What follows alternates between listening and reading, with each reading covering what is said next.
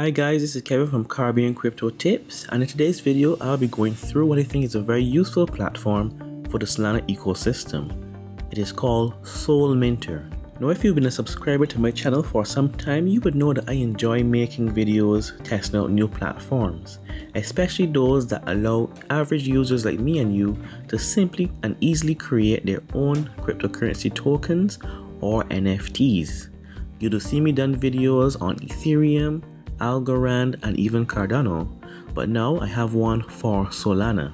Now personally, I myself was experimenting in the last couple of weeks with creating my own Solana tokens using the command line features, but nothing can beat a simple white label solution in which even non-tech persons can go and create their own tokens. So if you have your own great ideas that need to go on a blockchain like Solana, you now have a simple cost-effective way of starting your project. In addition, the platform itself affords you other useful features such as a bulk sender. In other words, you can quickly send or airdrop your tokens to your community members. And you can even set up vesting schedules. For those that invested in your project, you can select certain times and dates where they can come to the platform and collect their tokens. And all of this is done through a very simple user-friendly interface. And this is what I'm going to demonstrate for you today. But first things first, you need a Solana wallet. And for this tutorial, I'll be using the Phantom wallet.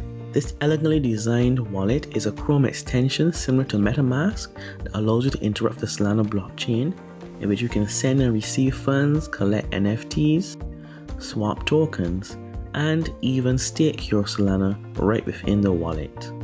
So I'll go here and click add to Chrome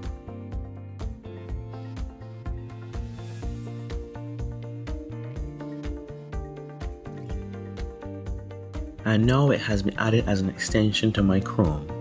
I'm gonna go ahead now and click create new wallet. Now of course you guys know you're not supposed to show these secret words to anyone. In fact I'm only doing so because it's a tutorial. But you're supposed to get a pen and paper and write them down securely, preferably in your STONEBOOK. Once that's done, you click OK, and now it's time to create a password for your wallet. So I'm going to go ahead and quickly do that now.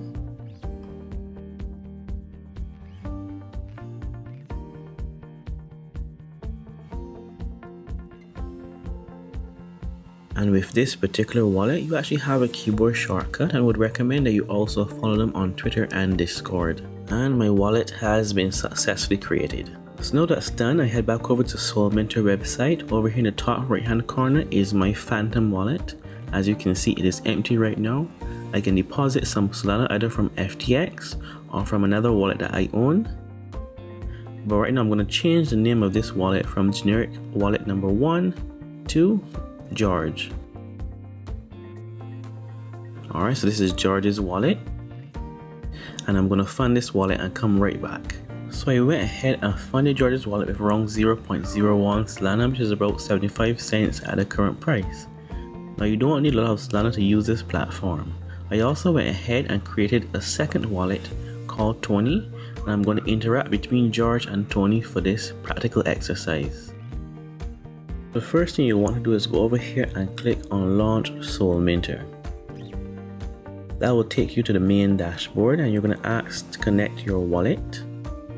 I'm going to use the Phantom extension and connect. So now it's connected here and it's connected as George. And what I'm going to do now is I'm going to go to token management. As you can see here, there are no tokens added to my wallet as yet what we're going to do now is create a new SPL token. Now my token's name is going to be Caribbean Crypto Tips. And the ticker symbol is going to be CCT and the number of decimal places in this case I'm going to choose 9 you can choose any amount that you want and I'm going to click create token. I have to approve the transaction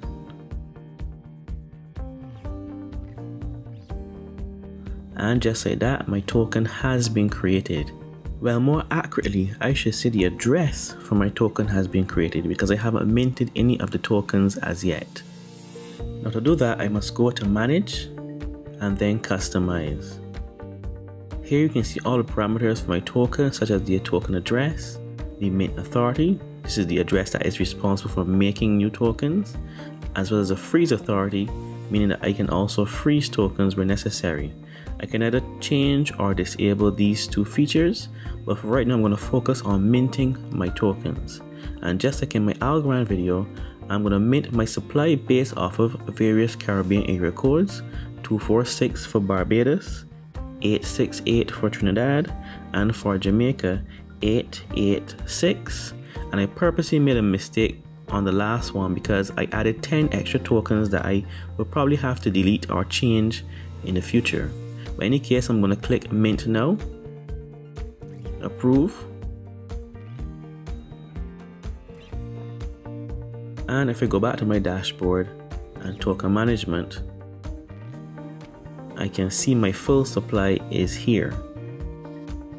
So clearly I was a little absent-minded while making my token. Anyway, I can always fix that. You can always mint more of your token. In this case, I'm gonna mint this particular amount just to fix my supply. And when you go back to the dashboard now, token management, manage. As you can see here now, this is my current supply. It is 10 tokens too much. So if I go back to my dashboard, I can also burn tokens. In this case, I'm gonna burn 10 tokens.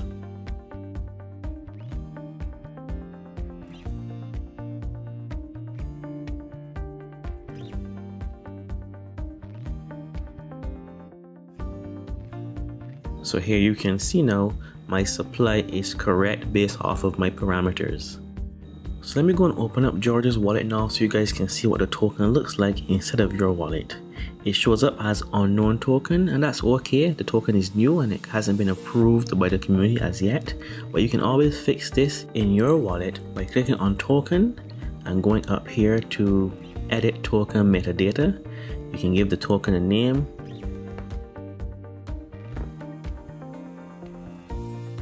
and symbol. Now the correct information should show up in your wallet. I would recommend naming all of your tokens so you can avoid any ambiguity in the future, especially if you're going to be minting lots of SPL tokens. So Tony is George's friend and investor in the project. So George would like to send Tony some of his tokens. Now there are two ways that George can go about doing that. The simple and manual way would be to open up the wallet ask Tony for his address. In this case, this is Tony's wallet. Tony would copy the address and give it to George. And now George can simply go and click on Caribbean Crypto Tips token, send, paste in Tony's receiver address, and send him 10 tokens. And just like that, Tony received the 10 CCT tokens. And once I go and open Tony's wallet, you can see the 10 tokens have arrived. Now another way George could distribute tokens to Tony would be by using the dashboard feature, distribute. You go here, you paste in Tony's address, you press a comma, leave a space, and type in the amount you want to give Tony. You can also set out multiple addresses and multiple amounts so you can airdrop a number of people all at once. In this case, I'm just going to click next, approve the transaction, confirm.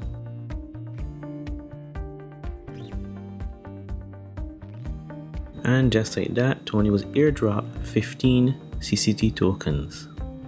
You can always check Tony's balance now. And it is correct, he now has 25 tokens.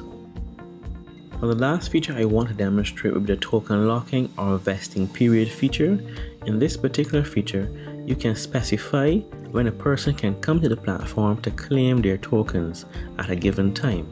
In this case, I'm going to allow Tony to come to the platform at this particular time. In fact, let me just adjust the minutes to a few minutes ahead.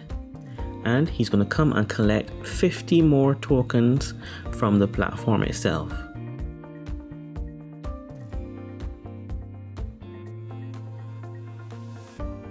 Alright, and just like that, my tokens are locked. Now I'll sign in as Tony now and see if he can claim these tokens. So now that I've signed out of George's account and signed in as Tony, Tony can now go to manage, withdraw, and he can click on the details to see if the time for him to withdraw has passed and once he sees the tokens have been unlocked he goes and clicks on withdraw and he approves the transaction and just like that he has his tokens. All Tor needs to do now is to go to his wallet and confirm that he has the tokens. So this was a quick overview of the SolMinter platform, but please bear in mind the platform is still in beta as there are certain features which have not been released as yet.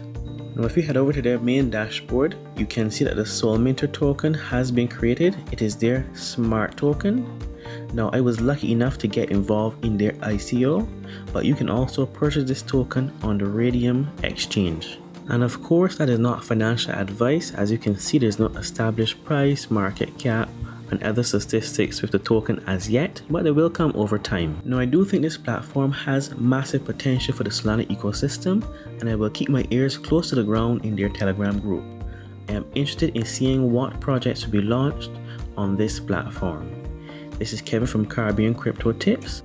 I do hope you enjoyed this video and if you found it useful and educational, feel free to like, share and comment below. Now this video was made for you the members of the Solana community.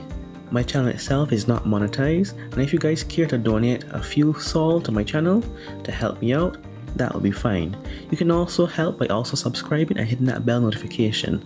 This is Kevin from Caribbean Crypto Tips. Thank you for watching.